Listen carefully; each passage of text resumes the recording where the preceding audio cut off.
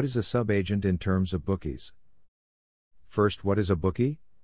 The definition in Wikipedia is a bookmaker, bookie, or turf accountant is an organization or a person that accepts and pays off bets on sporting and other events at agreed upon odds. In other words, someone who receives bets. Now, what is a subagent? Is a person who is below the bookie. Works for the bookie. Usually, when the bookie is very large in number of players, he hires subagents to help manage players such as paying and collecting, also getting new players.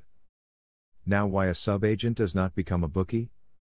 Sometimes it happens, but not regularly because most of the time the bookie is the one with the money to pay the bets that the players win. That brings me to the next point what is the benefit of the subagent? The subagent does not pay the winning bets but does collect a percent of the lost bet. But if he has 20 players and they lose the total of 3,500, he will earn 10 to 20% of that total for the week.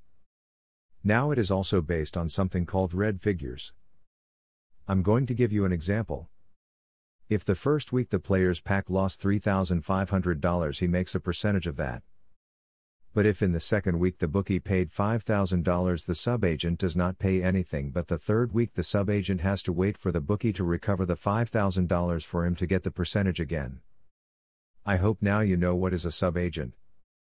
You can also become a bookie with www.perhead365.com. Contact us. Have a nice day.